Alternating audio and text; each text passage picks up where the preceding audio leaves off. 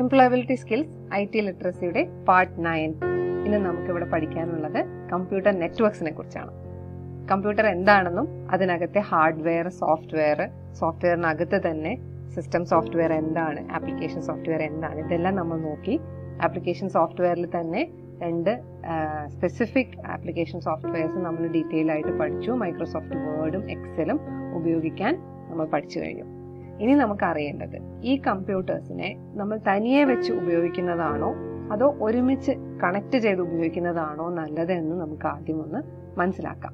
ഒരു കമ്പ്യൂട്ടർ എന്ന് പറയുന്നത് ഒരു സ്റ്റാൻഡ് അലോൺ കമ്പ്യൂട്ടർ അല്ലെങ്കിൽ ഒരു സ്റ്റാൻഡ് അലോൺ ലാപ്ടോപ്പ്. ഇനി പോട്ടെ ഏതൊരു സ്മാർട്ട് ഡിവൈസ് ആണെങ്കിലും അത് മാത്രം ഒരു സ്ഥലത്ത് വെച്ച് ഉപയോഗിച്ചു കഴിഞ്ഞാൽ നമുക്ക് ഒന്ന് ആലോചിച്ച് നോക്കൂ. നമ്മൾ ഇന്റർനെറ്റിൽ കണക്റ്റഡ് അല്ല ഡേറ്റ കണക്റ്റഡ് അല്ല വൈഫൈ കണക്റ്റഡ് അല്ല എങ്കിൽ നമുക്ക് അതിനെ ഉപയോഗിക്കുന്നതിനുള്ള വളരെ ചുരുങ്ങിയ രീതിയിൽ മാത്രമേ അതിനെ ഉപയോഗിക്കാൻ സാധിക്കുള്ളൂ എന്നാൽ ഇത് കണക്റ്റഡ് ആയി കഴിഞ്ഞാൽ ഇന്റർനെറ്റിലോ അല്ലെങ്കിൽ ഏതെങ്കിലും നെറ്റ്വർക്കിലോ കണക്റ്റഡ് ആയി കഴിഞ്ഞാൽ ഇതുകൊണ്ടുള്ള ഉപയോഗം പതിന്മടങ്ങ് വർദ്ധിക്കുകയാണ്.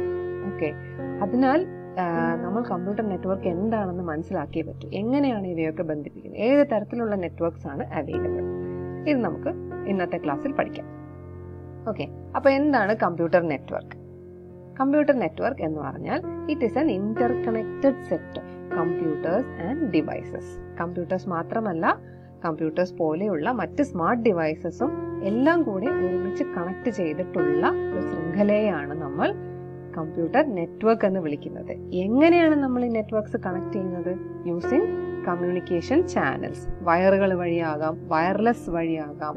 അങ്ങനെ പല രീതിയിൽ കണക്ട് ചെയ്തിരിക്കുന്നു ഈ കമ്പ്യൂട്ടേഴ്സിനെ എന്തിനു വേണ്ടി കണക്ട് ചെയ്തിരിക്കുന്നു?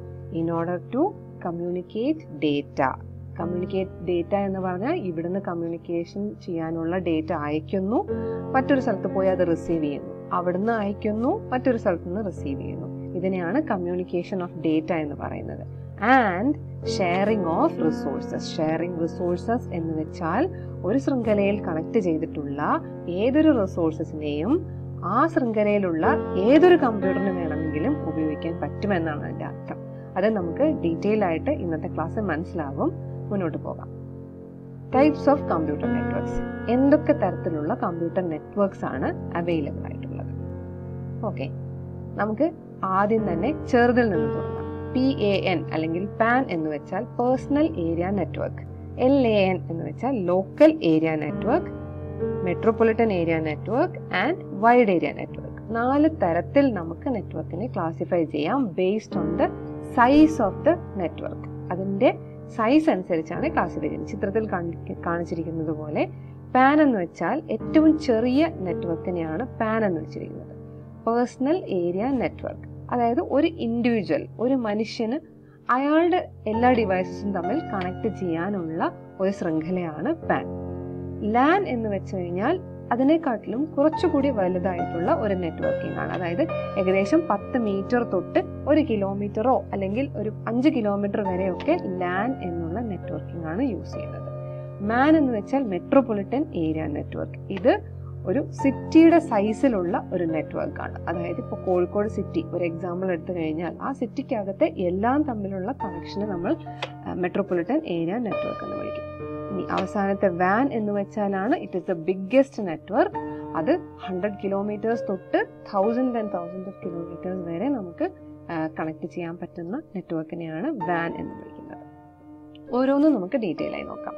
എന്താണ് പേഴ്സണൽ ഏരിയ നെറ്റ്വർക്ക് നേരത്തെ പറഞ്ഞ പോലെ ഇതാണ് സ്മോളസ്റ്റ് നെറ്റ്വർക്ക് ഏറ്റവും ചെറിയ നെറ്റ്വർക്കാണ് ആരാണ് ഉപയോഗിക്കുന്നത്? ഇൻഡിവിജ്വൽസ് ആൻഡ് ഫാമിലി ഇമ്മീഡിയറ്റ്ലി നമ്മൾ വീടുകളിൽ ഉപയോഗിക്കുന്ന ടൈപ്പ് ഓഫ് നെറ്റ്വർക്കിനെയാണ് നമ്മൾ പേഴ്സണൽ ഏരിയ നെറ്റ്വർക്ക് എങ്ങനെയാണ് ഇത് ഉപയോഗിക്കുന്നത്? നമുക്ക് നമ്മുടെ വീട്ടിൽ നമുക്കൊരു ലാപ്ടോപ്പ് ഉണ്ടെന്ന് വിചാരിക്കുക. അല്ലെങ്കിൽ കമ്പ്യൂട്ടർ അല്ലെങ്കിൽ ഒരു മൊബൈൽ ഫോൺ അല്ലെങ്കിൽ ഒരു ഹെഡ്ഫോൺ അല്ലെങ്കിൽ ഒരു മൗസ് ഈ ഈ തരത്തിലുള്ള ഡിവൈസസ് ഉണ്ടെങ്കിൽ ഇത് ഇവയൊക്കെ നമ്മൾ ബന്ധിപ്പിക്കുന്നത് ബ്ലൂടൂത്ത് വഴി നമ്മൾ പലപ്പോഴും ബന്ധിപ്പിക്കാറുണ്ട്. അതായത് ഇപ്പോൾ ഒരു മൊബൈലിൽ നിന്നും മറ്റൊരു മൊബൈലിലേക്ക് ഡേറ്റ ട്രാൻസ്ഫർ ചെയ്യാൻ. വീടുകളിൽ തന്നെ ചേട്ടനും അനിയനും തമ്മിൽ അല്ലെങ്കിൽ അമ്മയും മകനും തമ്മിൽ എന്തെങ്കിലും ഡേറ്റ കൈമാറണമെങ്കിൽ നാം ഉടനെ എന്ത് ചെയ്യുന്നു? ബ്ലൂടൂത്ത് ഓൺ ചെയ്യുന്നു ഡേറ്റ ട്രാൻസ്ഫർ ചെയ്യുന്നു. അവിടെ ഇന്റർനെറ്റോ അല്ലെങ്കിൽ വലിയ വലിയ നെറ്റ്വർക്ക് ശൃംഖലകളോ ആവശ്യമില്ല. ചെറിയ നെറ്റ്വർക്ക് ധാരാളം മതിയാവും. ഒരു ഇയർഫോൺ ചെവിയിൽ വെച്ച് സൗണ്ട് കേൾക്കണമെന്നുണ്ടെങ്കിൽ നാം ആ ഇയർഫോൺ ബ്ലൂടൂത്ത് ഇയർഫോൺ വാങ്ങിക്കഴിഞ്ഞാൽ ലാപ്ടോപ്പും ആ ഇയർഫോണും തമ്മിലുള്ള കമ്മ്യൂണിക്കേഷൻ അവിടെ റെഡി ആവുന്നു.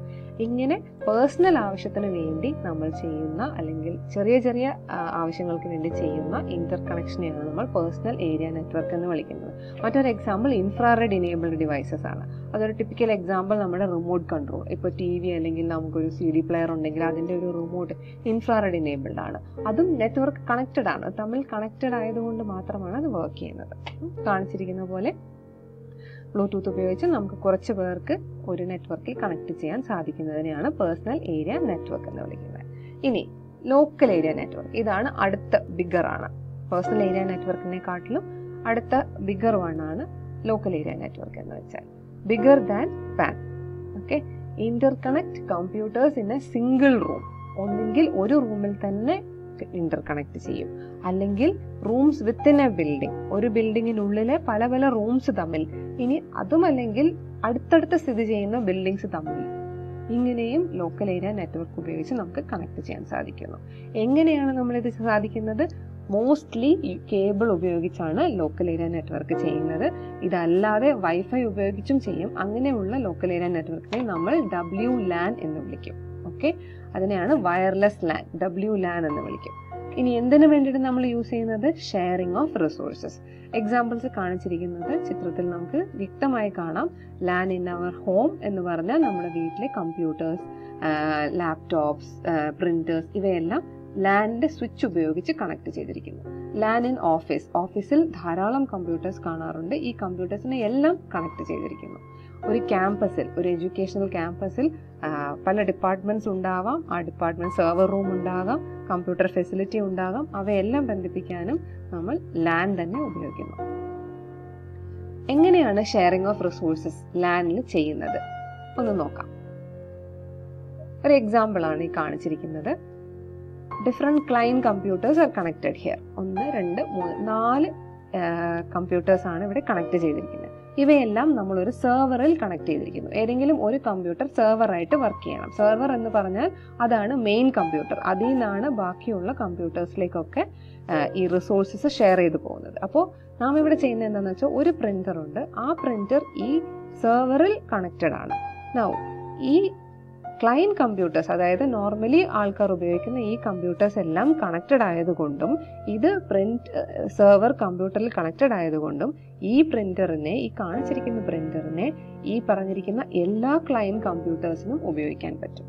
അതായത് ഈ ഓരോ കമ്പ്യൂട്ടർ ഉപയോഗിക്കുന്ന ആളും ഓരോ പ്രിന്റർ വാങ്ങിക്കേണ്ട ആവശ്യം വരുന്നില്ല. ഒരു ഓഫീസിൽ പത്ത് പേർ വർക്ക് ചെയ്യുന്ന ഒരു ഓഫീസ് ഉണ്ടെങ്കിൽ ആ പത്ത് പേർക്കും ഓരോ കമ്പ്യൂട്ടർ ഉണ്ടെങ്കിൽ ആ പത്ത് പേർക്കും ഓരോ പ്രിന്റർ വാങ്ങേണ്ട ആവശ്യമില്ല. പകരം ഇതുപോലെ ഒരു കണക്ഷൻ കൊടുത്തു കഴിഞ്ഞാൽ ഏത് കമ്പ്യൂട്ടറിൽ നിന്നും ആ പ്രിന്ററിലേക്ക് നമുക്കൊരു പ്രിന്റ് കൊടുക്കാൻ സാധിക്കും.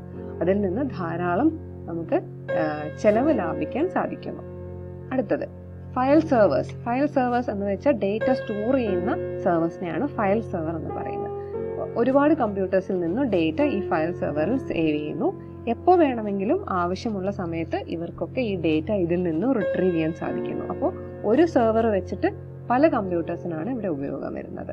അടുത്തത് ഷെയറിംഗ് ഓഫ് എൻ ഇന്റർനെറ്റ് അതായത് ഒരു കമ്പ്യൂട്ടർ മറ്റുള്ള കമ്പ്യൂട്ടറുകളായിട്ട് കണക്ട് ചെയ്തിരിക്കുന്ന സ്ഥിതിക്ക് ഇന്റർനെറ്റ് ഒരു കമ്പ്യൂട്ടറിൽ മാത്രം നമ്മൾ ഇനേബിൾ ചെയ്ത് കൊടുത്താൽ ബാക്കിയുള്ള എല്ലാ ലാൻ കണക്റ്റഡ് കമ്പ്യൂട്ടേഴ്സിലും അത് അവൈലബിൾ ആയിരിക്കും. മാത്രമല്ല വൈഫൈ ഇനേബിൾഡ് ലാൻ ഇതുപോലെ എല്ലാ കമ്പ്യൂട്ടേഴ്സിലും അവൈലബിൾ ആയിരിക്കും. അടുത്തതാണ് metropolitan area network MAN MAN എന്ന് വെച്ചാൽ നമ്മൾ നേരത്തെ കണ്ടതുപോലെ ലോക്കൽ ഏരിയ നെറ്റ്വർക്കിനെ കാട്ടിലും ബിഗർ ആണ്. അതിനെക്കാട്ടിലും വലിയതാണ്. Interconnects between different LANs അതായത് പല പല ലാനുകൾ ഉണ്ടെങ്കിൽ അതായത് ഒരു സിറ്റിയിൽ ഉദാഹരണം എടുക്കും. ഒരു സിറ്റിയിൽ ഒരു സ്കൂളുണ്ട് അല്ലെങ്കിൽ പല സ്കൂൾസ് ഉണ്ട്. ആ സ്കൂൾസിലൊക്കെ ലോക്കൽ ഏരിയ നെറ്റ്വർക്ക്സ് ഉണ്ട് ഹോസ്പിറ്റൽസ് കണക്റ്റഡ് ആണ്. കോളേജസ് കണക്റ്റഡ് ആണ്. ഫാക്ടറീസ് കണക്റ്റഡ് ആണ്. ഇവയെല്ലാം കൂടെ ബന്ധിപ്പിക്കാനായിട്ട് ഒരു മെട്രോപൊളിറ്റൻ ഏരിയ നെറ്റ്വർക്കിന്റെ സെർവർ റൂം ഉണ്ടായിരുന്നാൽ മതി. ഇവയെല്ലാം കണക്റ്റഡ് ആയിരിക്കും. സോ ഡേറ്റ ഇവ തമ്മിൽ ഷെയർ ചെയ്യാൻ ഈ മാൻ ഇനേബിൾ ചെയ്യുന്നതാണ്. ടിപ്പിക്കലി അതൊരു സൈസ് ഓഫ് എ സിറ്റി ആയിരിക്കും ഈ മെട്രോപൊളിറ്റൻ ഏരിയ നെറ്റ്വർക്ക് യൂസ് ചെയ്യുന്നത്. അത് ഈ മാൻ സെർവേഴ്സ് യൂഷ്വലി യൂസ് അത് ഓൺ ചെയ്യുന്നത് അല്ലെങ്കിൽ അതിന്റെ ഉടമസ്ഥൻ എന്ന് പറയുന്നത് ഒന്നെങ്കിൽ ഒരു ഗ്രൂപ്പ് ഓഫ് പീപ്പിൾ ആയിരിക്കും. അല്ലെങ്കിൽ ഒരു സർവീസ് പ്രൊവൈഡർ ആവാം. സർവീസ് പ്രൊവൈഡർ എന്ന് പറയുന്നത് it can be any company any company can be a service provider അവർക്ക് ഈ മാൻ കണക്ഷൻ ചെയ്യാനും ഇത് കൺട്രോൾ ചെയ്യാനുമുള്ള അധികാരമുണ്ട്. അവർക്കുള്ള പേയ്മെന്റ് ഇത് ഉപയോഗിക്കുന്നവരൊക്കെ കൊടുക്കേണ്ടതാണ്. ഇത് കാരണം ഡേറ്റ ഷെയറിങ്ങും റിസോഴ്സസ് ഷെയറിങ്ങും ഫലപ്രദമായി ഉപയോഗിക്കാൻ സാധിക്കും. മാൻ എങ്ങനെയാണ് കണക്ട് ചെയ്തിരിക്കുന്നത് നമുക്കിവിടെ കാണാം. നോക്കൂ ഇതേപോലെ ഒരു സിറ്റിയിലാണെങ്കിൽ പലതരത്തിലുള്ള ഫാക്ടറീസോ വീടുകളോ ഓഫീസുകളോ ഇവയെല്ലാം ഒരു ഓരോന്നും അതിന്റെ ലാൻഡിൽ കണക്റ്റഡ് ആണ്. അവയെല്ലാം ചേർത്തിട്ട് കണക്റ്റഡ് ആയിട്ടാണ് മാൻ ഉപയോഗിക്കുന്നത്. ഇനി മെട്രോപൊളിറ്റൻ ഏരിയ നെറ്റ്വർക്ക്സ് ഉണ്ടെങ്കിൽ മാത്രമേ നമുക്ക് ഈ ലാൻഡ്സിൽ നിന്നും ഡേറ്റ എടുത്ത് വൈഡ് ഏരിയ നെറ്റ്വർക്കിൽ കൊടുക്കാൻ പറ്റുള്ളൂ. വൈഡ് ഏരിയ നെറ്റ്വർക്കിൽ കൊടുത്തെങ്കിൽ മാത്രമേ ഈ പറയുന്ന ഡേറ്റയോ റിസോഴ്സസോ എല്ലാം നമുക്ക് ഇന്റർനെറ്റ് വഴി അവൈലബിൾ ആവുകയുള്ളൂ. നമുക്കിവിടെ കാണാം മുപ്പത് തൊട്ട് നാൽപ്പത് കിലോമീറ്റർ ഈവൻ അൻപത് കിലോമീറ്റർ വരെയും ഒക്കെ പോകാറുണ്ട് ഇതിന്റെ ഒരു റേഞ്ച് എങ്ങനെയാണ് മെട്രോപൊളിറ്റൻ ഏരിയ നെറ്റ്വർക്കിൽ കണക്ട് ചെയ്തിരിക്കുന്നത്? മോസ്റ്റ്ലി വയേർഡ് നെറ്റ്വർക്ക് ആയിരിക്കും. High speed fibre optic cables ആണ് മോസ്റ്റ്ലി യൂസ് ചെയ്യുന്നത്. എങ്കിൽ മാത്രമേ ഡേറ്റ ട്രാൻസ്ഫർ ഇഫക്റ്റീവായിട്ട് ചെയ്യാൻ സാധിക്കുകയുള്ളൂ. അടുത്തത്. Wide area network this is the last one in the group അതായത് ബിഗ്ഗസ്റ്റ് വൺ ഇൻ ദ ഗ്രൂപ്പാണ് ഈ നെറ്റ്വർക്ക് കാണിച്ചിരിക്കുന്ന പോലെ തന്നെ ഇവിടെ നമുക്ക് ഡീറ്റെയിൽ ആയിട്ട് കാണാൻ പറ്റുന്നുണ്ട്. ഇത് വേൾഡിന്റെ മാപ്പാണ് ഈ കാണിച്ചിരിക്കുന്നത്. ഇതിൽ നമുക്ക് മനസ്സിലാവും കമ്പ്യൂട്ടർ ശൃംഖലകൾ പല ഏരിയകളിലുമുണ്ട് different MANs are available in different parts of the world ഇവയെല്ലാം കൂടി ബന്ധിപ്പിച്ചിരിക്കുന്ന ഒരു ശൃംഖലയാണ് വൈഡ് ഏരിയ നെറ്റ്വർക്ക് എന്ന് വിളിക്കുന്നത്. എങ്ങനെയാണ് ഇവയൊക്കെ ബന്ധിപ്പിച്ചിരിക്കുന്നത്? ഇത് കണ്ടു നമ്മൾ ഇവൻ കടൽ കടന്നു വരെ പോയിട്ടുണ്ട് കണക്ഷൻസ്.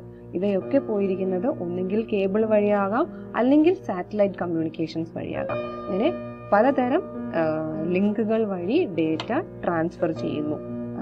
ഒരു ദേശത്തു നിന്നും മറ്റൊരു ദേശത്തേക്കും ആ ദേശത്തിൽ നിന്നും മറ്റൊരു ദേശത്തേക്കും അങ്ങനെ ട്രാൻസ്ഫർ ചെയ്തു പോകുന്നു.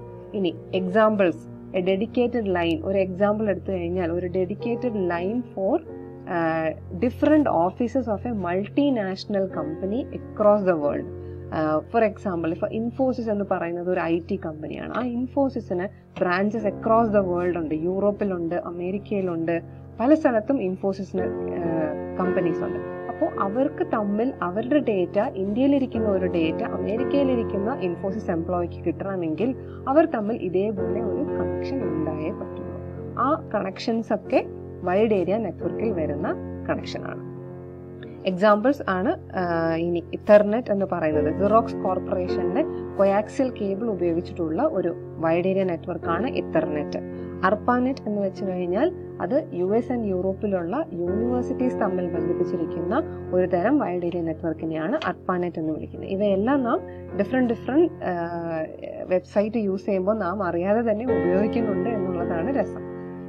ഓക്കെ ഇനി last but not the least നിങ്ങൾ എല്ലാവരും നിത്യേന ഉപയോഗിച്ചുകൊണ്ടിരിക്കുന്ന ഒരു സാധനമാണ് ഇന്റർനെറ്റ് അഥവാ the king of the kings അല്ലെങ്കിൽ ദ നെറ്റ്വർക്ക് ഓഫ് നെറ്റ്വർക്ക്സ് എന്ന് നമുക്ക് പറയാം. എല്ലാ തരത്തിലുള്ള നെറ്റ്വർക്കിനെയും തമ്മിൽ ബന്ധിപ്പിക്കുന്ന ഒരു നെറ്റ്വർക്കാണ് ഇന്റർനെറ്റ് എന്ന് പറഞ്ഞാൽ. ഓക്കെ? അതായത് ലാൻ വാൻ മാൻ പാൻ ഇവയെല്ലാം ബന്ധിപ്പിച്ചുകൊണ്ട് over the globe across the globe ഈ ലോകത്തെ എല്ലാ ശൃംഖലയും അല്ലെങ്കിൽ എല്ലാ ഡിവൈസസെയും തമ്മിൽ ബന്ധിപ്പിക്കുന്ന ഒറ്റ ഒരു ശൃംഖലയാണ് നമ്മൾ ഇന്റർനെറ്റ് എന്ന് വിളിക്കുന്നത്. The world wide system of computer network. And usually നമ്മൾ വേൾഡ് വൈഡ് വെബ് എന്നാണ് ഇതിനെ ഡിനോട്ട് ചെയ്യുന്നത്. ഏതൊരു വെബ്സൈറ്റ് എടുത്താലും അതായത് ഒരാൾക്ക് ഒരാളുടെ ഡേറ്റ പബ്ലിഷ് ചെയ്യണമെങ്കിൽ നമ്മൾ എപ്പോഴും ഒരു ഡൊമെയിൻ നമ്മൾ അതിനകത്ത് ഉണ്ടാക്കിയേ പറ്റുള്ളൂ. അതിനെ നമ്മൾ വേൾഡ് വൈഡ് വെബിനകത്തുള്ള ഒരു ഡൊമെയിൻ ആയിട്ട് രജിസ്റ്റർ ചെയ്യേണ്ടിയിരിക്കുന്നു. അതിൽ രജിസ്റ്റർ ചെയ്ത് കഴിഞ്ഞാൽ നമുക്ക് എന്ത് ഡേറ്റയും നമുക്ക് ഇന്റർനെറ്റിൽ നമുക്ക് പബ്ലിഷ് ചെയ്യാൻ സാധിക്കും. ഓക്കെ അത് മാത്രമല്ല നമുക്ക് ഇമെയിൽ തരാനുള്ള ഒരു ഇൻഫ്രാസ്ട്രക്ചറും ഇന്റർനെറ്റ് തരുന്നു. ഇനി ഇന്റർനെറ്റ് എക്സ്പെൻസീവ് ആണോ? അല്ല. കാരണം നമുക്കറിയാം ഇന്നിപ്പോൾ ഡേറ്റ പ്ലാൻ വളരെ ചുരുങ്ങിയ ചെലവിൽ തന്നെ എല്ലാ രാഷ്ട്രങ്ങളിലും ലഭ്യമാണ്. അത് അതുകൊണ്ട് വളരെയധികം ഇൻഎക്സ്പെൻസീവ് ആയി കൊണ്ടിരിക്കുകയാണ് ഇന്റർനെറ്റ് ഇൻസ്റ്റന്റേനിയസ് ആണ്. പെട്ടെന്ന് തന്നെ നമുക്ക് ഇന്റർനെറ്റ് കിട്ടും. വിരൽ തുമ്പിൽ തന്നെ നമുക്ക് ഗൂഗിൾ അവൈലബിൾ ആണ്. ഏതൊരു ഇന്റർനെറ്റ് സൈറ്റ്സും നമുക്ക് അവൈലബിൾ ആണ്. And it is beyond boundaries അതായത് നമ്മൾ ഇന്ത്യയിലിരുന്ന് ഏതൊരു രാജ്യത്തെയും കാര്യം നമുക്ക് ആക്സസ് ചെയ്യാൻ സാധിക്കുന്നു. അത് മാത്രമല്ല internet it's accessible at any time എപ്പോൾ വേണമെങ്കിലും. അർദ്ധരാത്രിയാണോ പകലാണോ എന്നില്ല ഏത് സമയത്ത് വേണമെങ്കിലും ആക്സസിബിൾ ആണ്. സോ ഇന്നത്തെ നെറ്റ്വർക്കിംഗ് ക്ലാസ് ഇതോടുകൂടി കഴിഞ്ഞിരിക്കുന്നു. Thank you so much for watching